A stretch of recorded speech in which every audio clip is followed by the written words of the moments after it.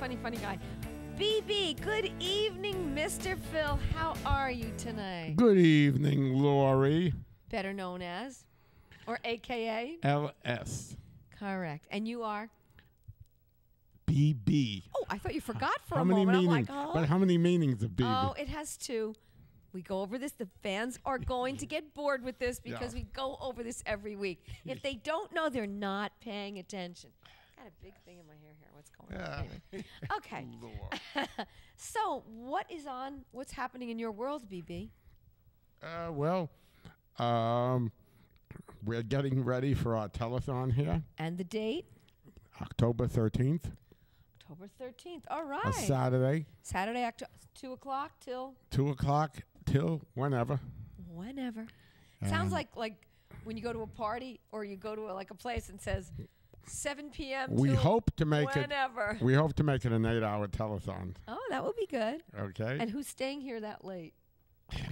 I'm, I have to do it. Yeah, you can do it, BB. You can do it. Just don't forget at the end, I have to do the traditional. Uh, I know. the traditional closing. You, I'll probably leave and come back. Yeah. you know, the You're a trooper. I still keep it up. The traditional closing of "You'll Never Walk Alone." You know that I still. And what happened when I sang that? Oh yeah. I did a show. I'm sure everybody's heard this, but I did a show. I'm up on stage, and there's Phil and Sandy's. You know, it, it was a sold out show. Sitting in the audience, and I start singing "You'll Never Walk Alone."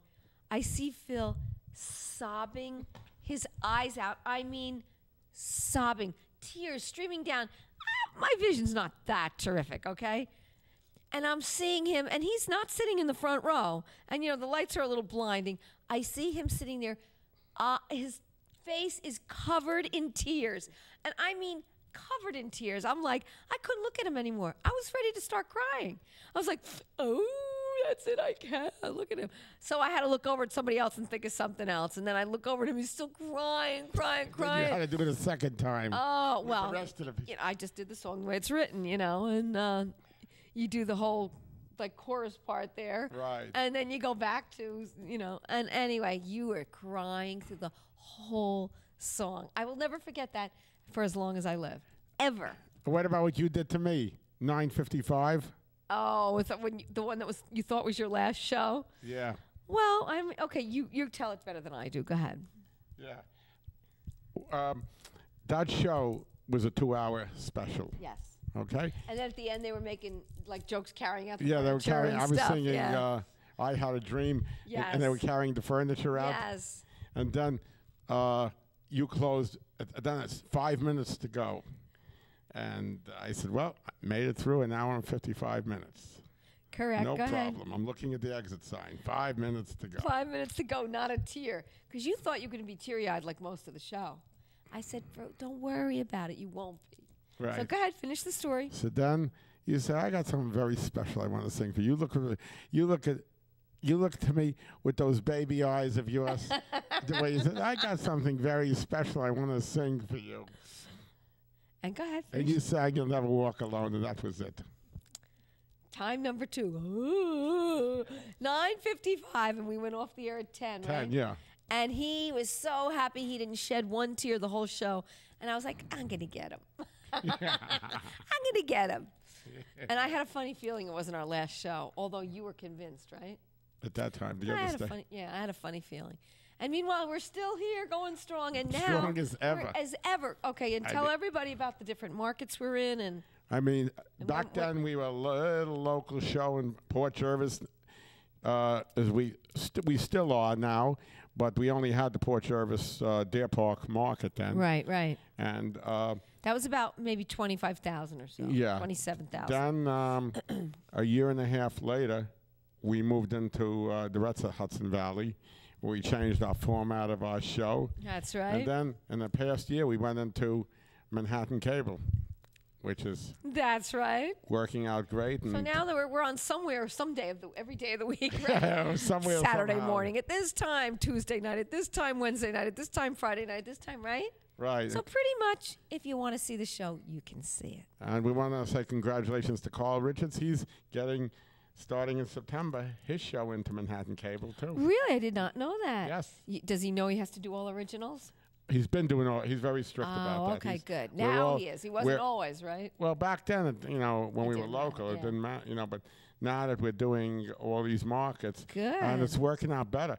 I mean, because we're giving people a chance to uh, show their Showcase own, themselves, yeah. show their music, Yeah, we love it. you know, and, and we love it. and It's working there out is fine. and- so and- much great yes, talent, like raw talent and undiscovered talent, and you know, we I just mean, we're loving it and that's the how- caliber, right? that's why we. That's how we got that. Uh, uh, you know, those awards from Destry Records Yeah. for my anniversary show because of. Uh, Bringing these people out who have their own original music that would have no other way to get such exposure. yeah, that's what it's really. It's makes your heart feel good. Oh yes, it it, really does. does. It's It really does. You know, heartwarming. and yes. uh, it was well worth it what we did. I mean, Every once in a while, we'll do a cover show, like just every once in a while, but mostly it's all originals. Yeah. And it's just so great because the caliber of talent. It's not like Oh. somebody singing drunk doing karaoke. You know Yeah, what I right. mean? You get the, you get people that are writing their, so- of course, writing their own songs and performing their songs or performing with a band that they've you know brought together, and they're really into it and they're dedicated and. You know, it's just you know, it's really, really a great thing. yes, you got to see. I mean, uh, you look back at these shows and see the the, sm- the the looks on these people's face. They're so proud being up there. I mean, you couldn't.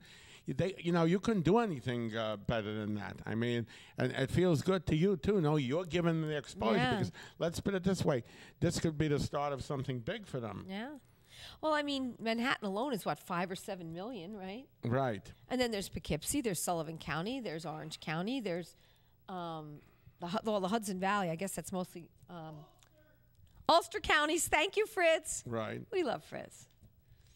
Um, and you know, it, it's just so it's really, really good. And what are you looking up there? He's digging away in his pocket. I think you're looking for gold in there, huh? I got some. Or dust bunnies, maybe. what do you have? You have a million cards. You better not ever lose that. Is that the oh I want to. I want to give you your your own my own card? your own Oh. card. Your own All right, there it is. There's my own Access 23 TV card. Yeah. And did you have to pick such a, ter- a horrific picture on there? Oh my God. That's a horrible picture. No, it's it's pretty. I like it. Yeah, it's terrible. okay, but anyway, I have my own card. Have now I have another. I have a military ID. I have my driver's license. I have this. Wow, So I'm in like Flint. So if you get stopped, you can show that. Yeah, to there. Say, you go. Look who I am. I'm I'm the I'm I Lori. really, probably this wouldn't be the first ID I would show, but okay. Oh my gosh, I can't really see it so good, but that's probably a good thing. yeah. So, um, so what's going on for tonight? You're gonna you're going to sing, right? Yes, And because we're getting near 9/11, you're I'm going to do- Let's Stand Tall. I'm gonna Or go. We'll uh, I'm gonna do. Uh, we'll stand tall. Okay, and then we have a really nice guest coming up. Yes, we right? do. folk singer. You told Yes. me. Great. You know, today I called up the uh, Muscular Dystrophy Association Oh, okay. to talk about their recent uh, Labor Day. Uh, Extravaganza. uh, yeah, well, it's not. It's no longer called a telethon because it's a three-hour show. The show of strength. Ah, okay. A little different marketing there. Yes, Okay. and told them, you know, they did a great job and all that because they real. I'm telling you, the, they their entertainment was phenomenal. Wow. Who'd they have? They were they had Carrie Underwood and uh, s- you know a lot alright. of the the young, a lot of the young talent that they had, you know, good, and uh, good, good. I called them up to tell them, uh, you know, what a great show it is, and you know, in the New York market, like. In the three hours, they made over three million dollars. Nice. Well, that's why they cut it down. They went smart and short, apparently. You know, I guess the early hours and the late hours, people aren't watching or aren't donating as much, so they're trying to be c- more cost effective, I guess. I don't know. Right. So, you know, anyway. but I the, the funniest thing, I gave them some advice on, you know, even better things that they could, like they could, Ah. that like they could do in the future. You know what I mean? What'd you say? I said to them that I do it. I told them that I've been doing a telethon of my own for 18 years, and I said the idea is to to to get the people to touch their hearts. Otherwise, it's not going to work. That's true. You know, and uh, I said the only thing that worries me is you know when you're catering with strictly young entertainment, these kids don't have jobs and they don't have money to give and stuff like Oh, that. right, I said, right, yeah. you know, something like that That's a good point. something like that really Yeah, worries me. And I said, um, you all, I said, you all, and I was telling them, like, for instance, when it used to be uh, with Jerry, the way they used to show these things and it would, like, get people emotional to go to the phone and Right. call. I said, you can't just say give money and expect, you know, people to do Right, it. you have to touch their heart. you have to touch their hearts and all. And I told them how I'm doing a telethon for our station and how I could do it. And this isn't even, you know, a disease, but yet I know how to touch the people's hearts, what to say and all that, and how to get it You're a across. master. Yes. Y- you know, the, this all started back in uh, 2001, right after 9 11. We ran our Okay. telethon that year. Right, because it was September, so that would have been Uh, October. So we ran our telethon. At that time, it used to be uh, an all-day Sunday thing, Okay. which we later on switched to. Didn't it start at like 12 instead? it used to start at 12 and go to 8. Yeah. You know, it used to be a, a Sunday, a Sunday Okay, all-day instead of a thing. Saturday. but we were competing 10. Yeah, yeah. with the NFL and then the world. Oh. a lot of so that was smart to move it to Saturday. Yeah, it was smart. and it seems that's worked better to work with the Yeah. Saturday, and so we had to move it. Uh, so we moved it to Saturday, but when it was on Sunday, you know, the early hours, you know, we didn't do too good because you had the NFL and st- Ah, you know, it's the competition. it was a competition. So this telethon, we were all worried how we were going to do after 9/11 and stuff like right. I bet you it was your best telethon ever. Yes, Well, except for our recent ones. yes. Up until that time, it was. Yeah. But the funniest thing, I took this one girl who had been on my show. She was an actress from New York City and a singer and all. that. She knew just what to say, how to how to move in there with me. And then I took this other girl, and, and I was saying to the people, like, it's these people that are our volunteers. And I said how I could call them up in a spur of the moment, how they'll come down to me. And I was saying to the, then I said to the people, something I always say, uh, you don't know what it does to me when you walk up to me and Yeah. And that's really, really true. you know, you walk up to me I know and you say so what my show means to you and all that. And these little, and then next, so then this girl, uh, you know, she's uh, giving her piece and all that. And then she says to me, I thought she was kidding, Mr. Phil, you're making me emotional. You're making me cry. oh. I thought she was kidding. I didn't believe it. So I was still talking. I look over, the tears are coming down her cheeks. Oh, that's nice. So they put the camera right on her. And I said, folks, what you're seeing is real. You know, this isn't rehearsed. This, this is what she feels about us. yeah. All of a sudden, the phones are ringing off the hook, and it said on, they were flashing, if phones are busy, please call back. Wow. Yes, All right. So that's great. right. So I followed that. I followed that through all the years. All right. And I, Whatever you're doing, keep it up, BB. yeah. And every year I've done that and made somebody else cry. Ah. One year, and, and, and, and this was a miracle. To the 2003 telethon, you know who I did it? Diane. No way, Jose. Ah. That's right. Knocked her right. I'm telling you. Wow. Then the the following, another one who was saying, "You'll never do it. You'll never do it." All right. Good for you. So, I'm this year. well, aren't you going to do a song Yes. for us? I'm wondering who it's going to be this year. No, I don't know. Don't talk. Talk to the hand. nah, you're prepared. Okay. I'm wearing waterproof makeup. I will. I promise. Yeah, you better. Yeah, I don't normally. Okay, uh, folks, I'm going to do my patriotic song called We'll Stand Tall because 9 11 is uh, approaching us. It's coming up this Tuesday. So, uh, this is in um, honor of 9 11 and that our country should be in a better place from now on.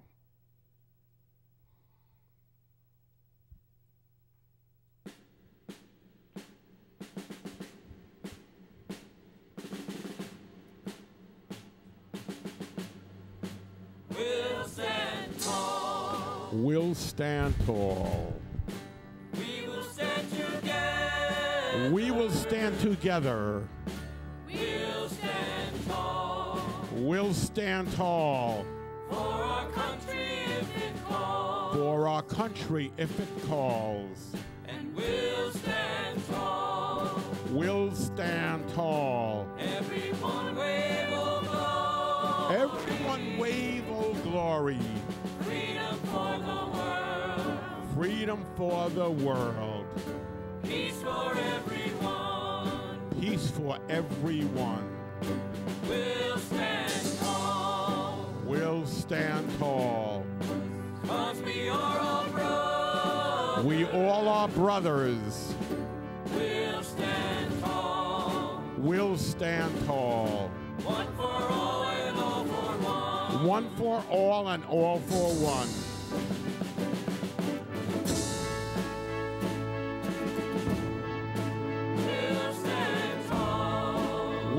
Stand tall.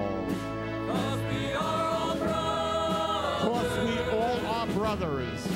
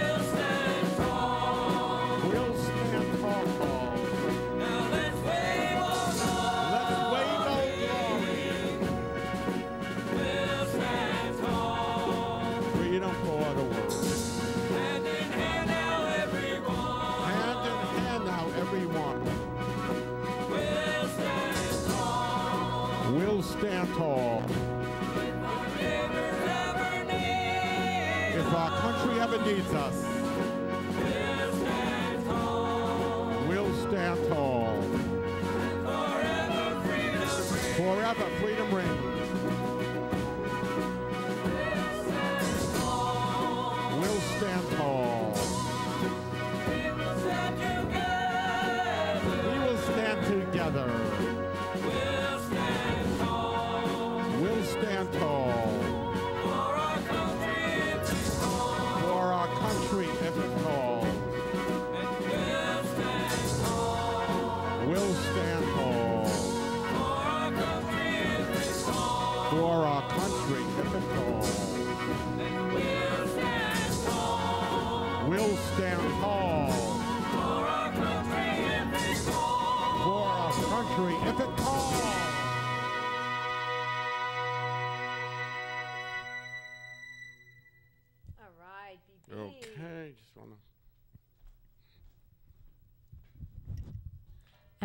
what's going on? He's going off and coming back on.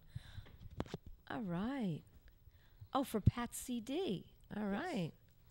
We have to get Pat up here. Let me move. So we wanna. Shuffle my, shuffle my butt right over. Uh, we wanna call Pat up. Come on over. Come on in. The water's fine. Yes. Thank you. Hi. Hi. Pat, how are you? Very good, thank you. How are you? Good, thank you. I liked your song, Phil. Thank you. Nice. I He's was very ve- patriotic. I was. Uh, that song is by uh, written by our very own Carl Richards, Uh huh. and it's in uh, memory of all our troops. And who's singing on the CD? We he has Some backup singers. a bunch right? of uh, backup singers uh, singing behind him, and I narrate the song. Mm-hmm. And I've done this song for many different patriotic festivals, as well as for different Fourth of July festivals. This past year, I did it in Liberty, New York. I opened it up in Liberty. Nice. A few years ago, I op- opened up one in Middletown, and I did a 9/11 festival last year with it. A 9/11 Perfect song for that, right? 9/11 festival. Yes. Yes. Okay. So tell us a little about yourself and your music. Well, Oh, first, wow. tell us your full name. Oh, Pat Lamanna. Okay. And um, well, this this CD I did in uh, it came out in 2009, but I've actually been singing and writing songs since I was a kid. I just sort of never took it very seriously. In 2005, I went to a, a songwriting camp called Summer Songs. That's at the Ashokan Center, and that kind of made me get more serious about this. Good. So yeah, it was a great experience. I'm actually now working on a second CD. It should be out in a month or two. So, and actually, there is a song on here about September 11th, but I didn't think about, you know, doing it tonight. It's kind of sad; it would make you cry. So, but if people get the CD, they can hear it. Wow. so where where will you be? Um, are Yes. you, you have any upcoming dates of where you'll be? Where do you do, like, where do you perform? Uh, well, I, I do a lot of open mics and uh, things here and there. Um, the next thing that I know about of any import is um, October 14th.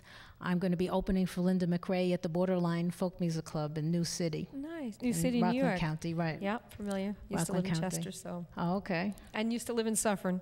Uh huh. So no, Okay. yeah. I live in Poughkeepsie, by the way. Okay. And um, now, ex- what is your motivation and your inspiration for your songs?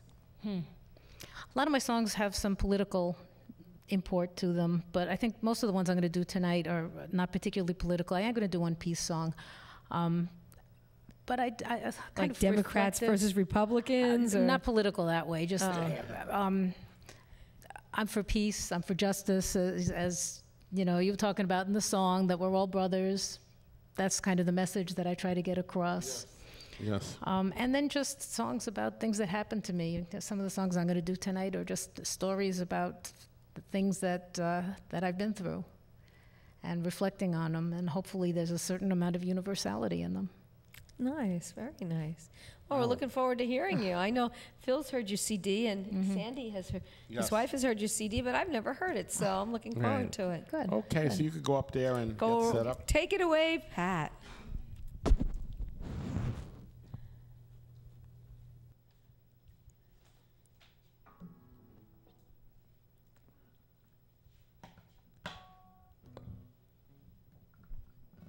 Okay, well, I'll start with the first song on the CD.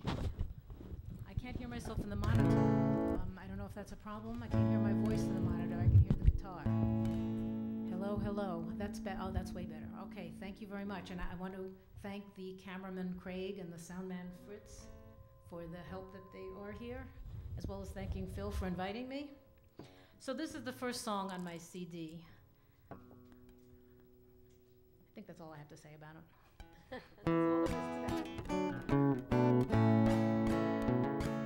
Sing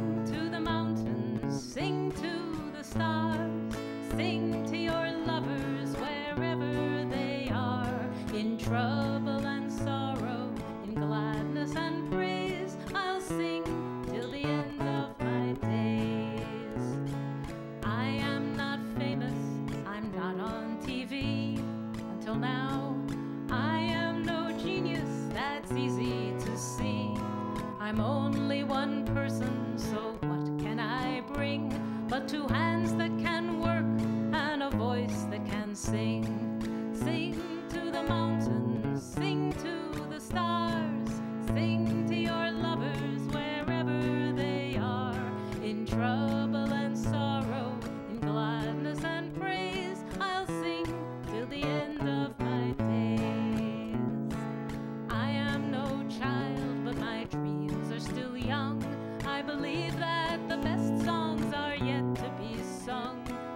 heroes and dragons,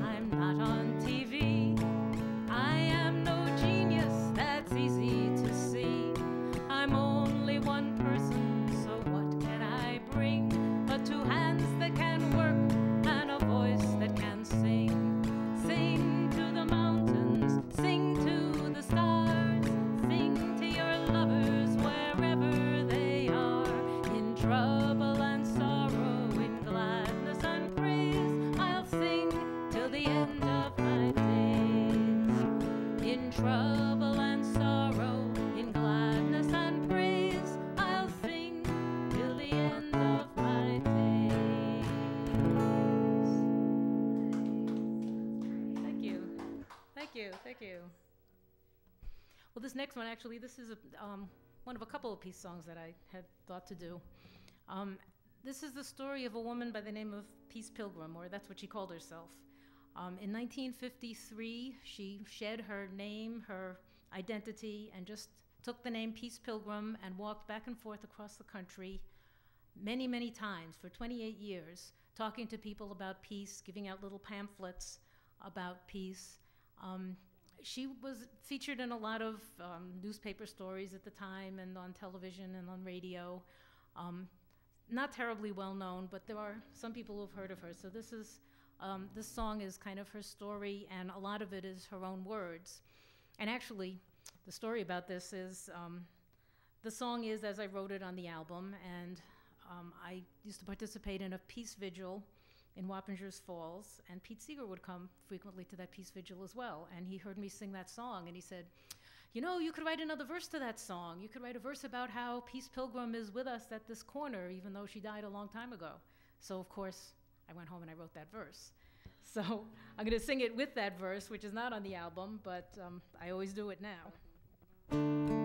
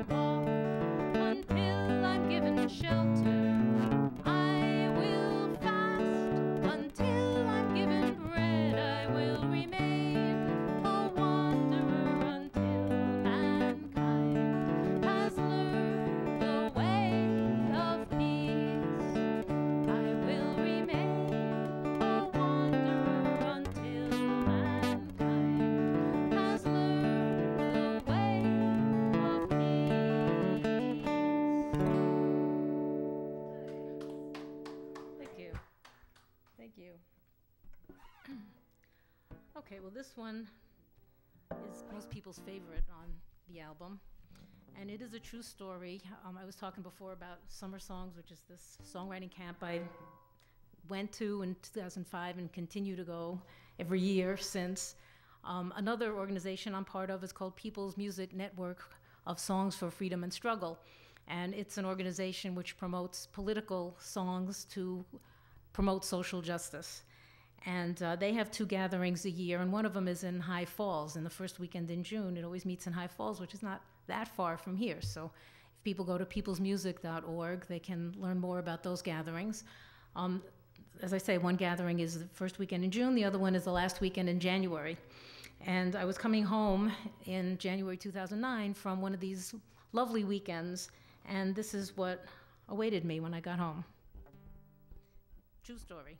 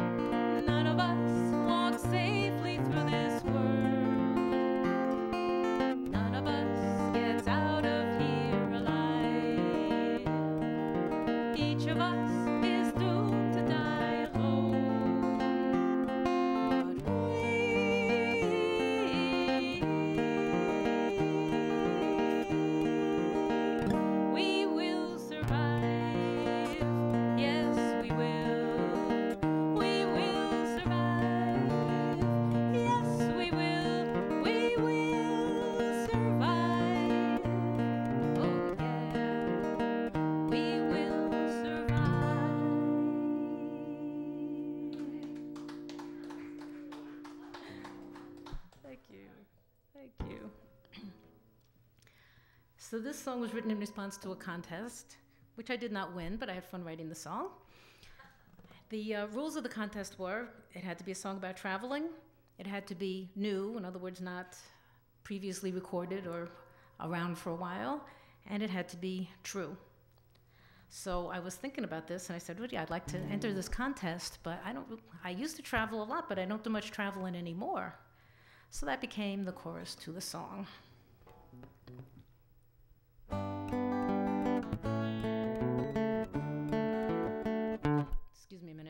Tuning break.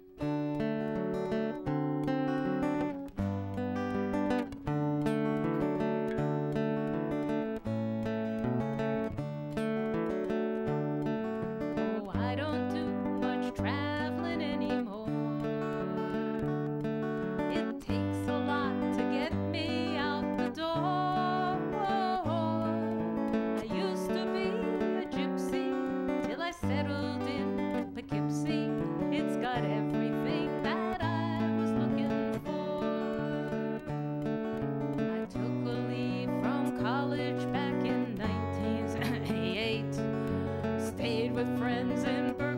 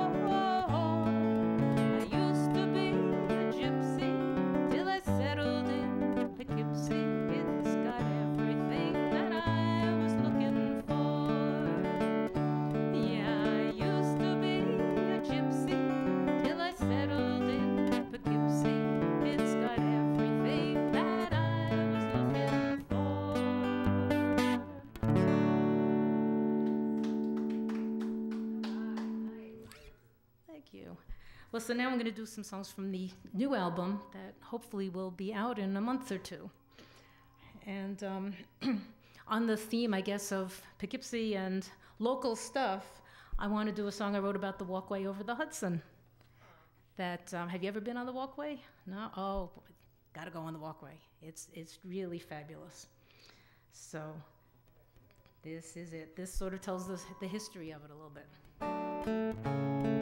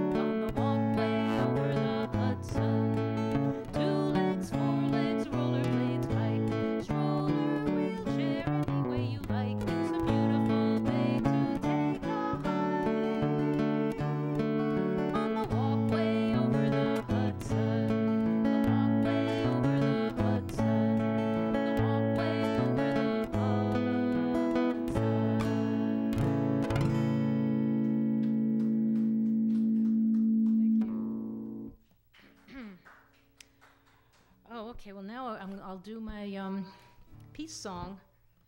Actually, if Laurie comes back, it's got a really singable chorus. This is a song that's really meant to sing along. So um, if anybody wants to do that, I would really appreciate it. As I say, the chorus is very easy, very easy to sing along on. I was hoping Laurie would be here because she's got a beautiful voice. But we'll manage here.